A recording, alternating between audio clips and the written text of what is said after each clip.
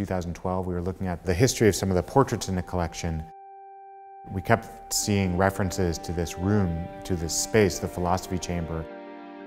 My colleagues and I had to dive in and pursue what that was, and we ended up pretty quickly finding this kind of extraordinary archive documenting one of the most eccentric and unusual rooms in early America, swept out of the history books for the last 200 years